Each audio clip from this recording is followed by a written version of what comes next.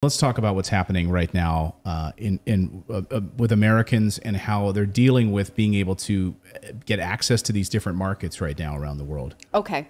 Well, the United States is sanctioning you if you are a U.S. citizen. You may not have known this.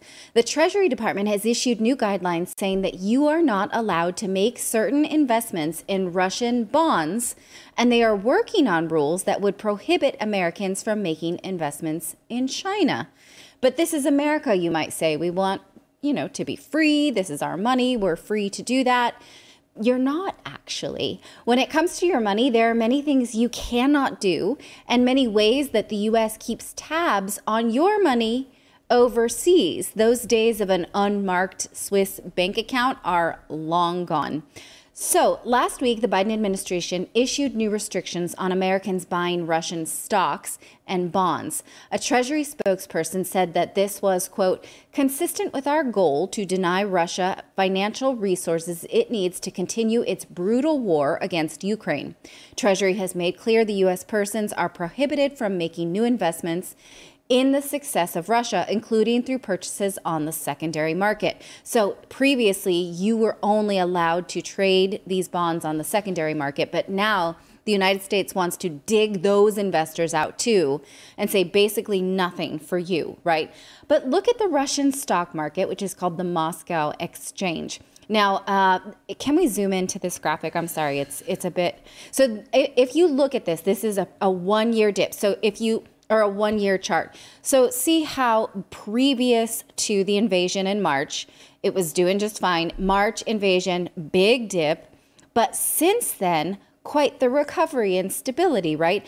Just today, the Moscow exchange was up 4% on a day when the American economy was dipping into bear market. That's a 20% decline, right? And so it seems to be stabilizing the United States government does not want to give you the opportunity to get in on that game, period. Well, now Congress wants to put a screening process on American businesses that do business in China. According to the Wall Street Journal, uh, this measure is part of broader legislation to bolster U.S. competitiveness with China, and it would require American companies and investors to disclose certain new outbound investments and authorize the executive branch to form a new interagency panel to review and block investments on national security grounds. So you may remember this was, you know, Donald Trump was big on this too, right? He really didn't like the idea that TikTok had so much power and was Chinese owned. Uh, this sort of furthers that. And there is bipartisan support on this. So the a draft of the bill was reviewed by the Wall Street Journal on Monday. Now, I want to remind you, we are in a Cold War with China over currency. The United States wants to maintain its power as the world's exchange currency. China wants to take that, right? The United States has a lot of debt, doesn't have enough money to actually support all business in the world. China is saying we can, right? Whether that's true or not, I, am not a Chinese economy economist, uh, but Secretary of State, U.S. Secretary of State Antony Blinken says that this move, this now new screening of Chinese investments, will avoid a Cold War, but I can't quite work that out. I, well, it'll avoid a Cold War. So we will put more restrictions on Chinese investments. Right. But this won't exacerbate the Cold War that we are currently in with China. I don't see how that could be the case. Now, the Wall Street Journal points out that the U.S. has for decades regulated foreign investments in U.S. entities, which is true, right? You may not know this because I think most people don't just say, like, oh, how can I invest in Switzerland or whatever, right? This is like upper echelon of investors who even care about investing in other places.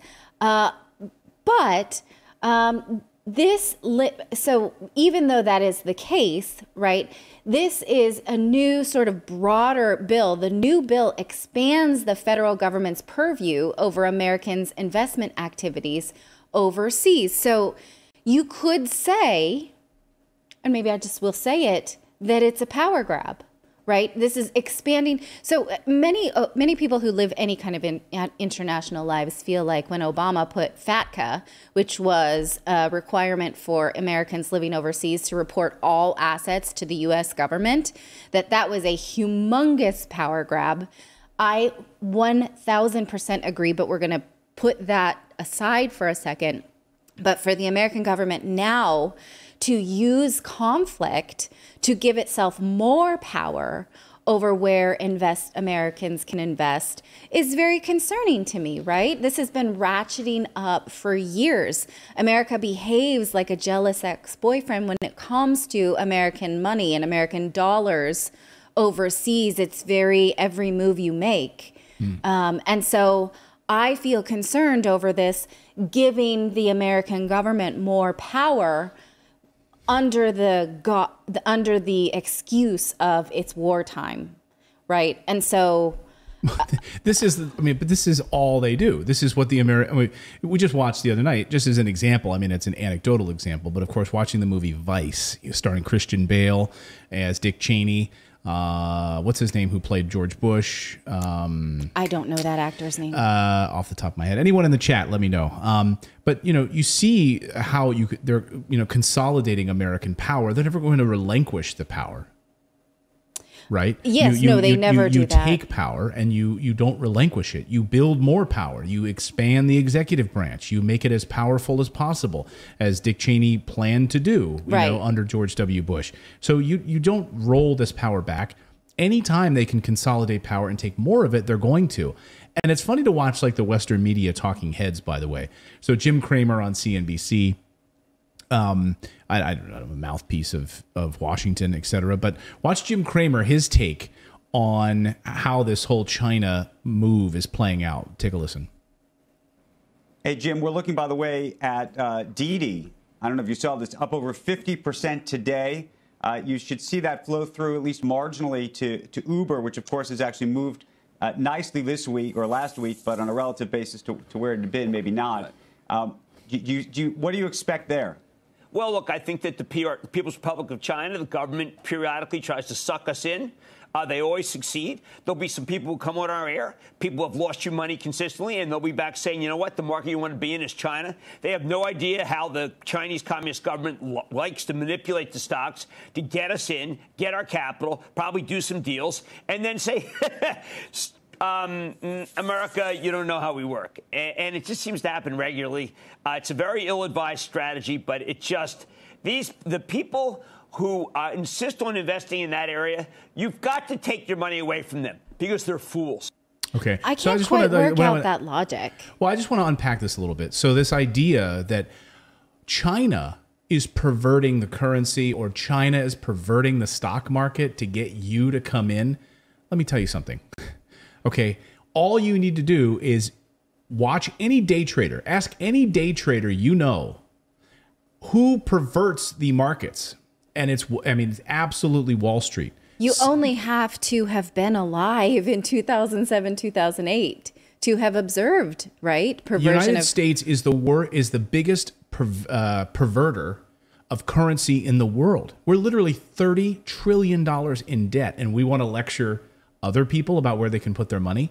By the way, I saw this afternoon, I didn't have time to put it in, but did you know overnight they opened up the new land bridge between China and Russia? They did a whole celebration ceremony. No, I did not. So there was balloons and everything, and they opened up a new trade route between China and Russia. It's a much fanfare, and you know, again, showing you. And by the way, uh, India now the second biggest importer of Russian oil uh, for the first time. So again, they're doing fine without us. And but we, uh, but my concern about this, right, is that it will be used as an excuse to continue to preclude Americans from investing in other economies that are not suffering the same, right? Um, and that it will never be allowed again, right? And that it will continue to expand. And you're right; those these kind of powers, it, it doesn't have to be that you can't invest in Russia right now, right? Will we get that power back if Russia becomes an ally? Who knows, right? But the, the government is going to continue to use this to look at your foreign. And, and, and I mean, ask any tax accountant who prepares taxes for anyone who lives overseas. It's a nightmare. And it will continue to be if the government decides that now it screens investments from China, it precludes investments from Russia. Uh, this is just something that will continue to reach into people. And, and I mean, and it, I don't know. I you know I struggle with like how much does this matter? Do people really live international lives with family overseas and and that kind of thing? And I think a lot of people do. And I think that these rules will be dangerous. Well, I just love that the, they're going to lecture us about where to put our money when you are lying to our faces about what's going on in a war in Ukraine. You're literally lying to us. You're lying to us about what's happening in China. You're lying to us what's happening in Russia. You're lying to us what's happening in Ukraine. You're lying to us what's happening in Syria. You're lying to us what's happening in Somalia. The list goes on and on and on. So you are literally lying to us and you're going to tell us what to do with our money. When you do ends around with your with our taxpayer dollars and funnel billions of dollars into these zones and then you tell us we can't invest, well, that's yes, the most hilarious part to me. For people who actually study economics and study investing like us, right? We have made it our goal to move as much money outside of the American dollar and American investments um, as possible because we are afraid of what is coming for a nation that's saddled with debt. And this inflation is something that many predicted, right? And so it's painful, but it's not necessarily surprising. And so if the government sees that more and more people are coming to this realization and thinking, I'm not going to invest here, this place is a dumpster fire and then sets laws that makes it so that you cannot diversify uh, that is terrifying we, you know we went to an investor conference in serbia where someone who was trying to invest overseas and there were certain banks in certain countries that said no, we don't work with Americans because of FATCA requirements, because of the well, IRS at, is is a Gestapo, right? And so what the guy had been, he said, I was trying to just like diversify into different countries, and I realized I live in a financial concentration camp because I cannot get out, hmm. right? This is it, because he is only allowed to play by the rules of the IRS, even if he's not living inside America. And so these types of things will continue to close us in, um, and they scare me. Well, and I think crypto too. I mean, look at look at crypto. You know, like if you want to invest in crypto and if you want to be involved in taking care of your own money in that way, there's so many crypto companies and exchanges that are like, we're not doing business in the United States. Why would we? Why? Yeah. Why? There's no reason for us to do it. Right. I mean, we could tap into that market. Yeah, that's fine. You know what? Those people want to do it. They're going to figure out creative ways to invest outside of the United States, uh, and that's the that's the sad reality. Um, but you know, United States is digging its own grave. You're watching it in real time, guys. You're watching it unfold in real time.